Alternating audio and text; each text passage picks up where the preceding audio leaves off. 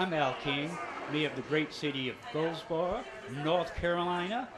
Majesty, we are here to support you, to cheer for you, and most of all, to vote for you. This evening, we have an awful lot of people here, and we want to say, break a leg. Thank you. Hi, Majesty. I'm Cynthia Green from Goldsboro, North Carolina, and we are proud of you and praying for you.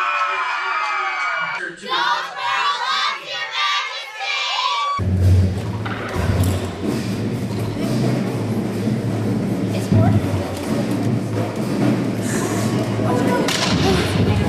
Majesty Rose. My name is Felicia Brown. I'm with Goldsboro Parks Recreation Department. Just want to let you know we're pushing hard for you, girl. Keep on doing it.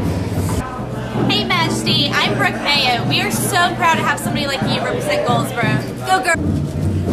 Kim Bass from the city of Goldsboro. We just want to say, Majesty, we are so proud of you. Goldsboro is totally supporting you. As you see, we have Majesty everywhere, right, Kate? That's right. Kate Daniels, Wayne County Chamber of Commerce.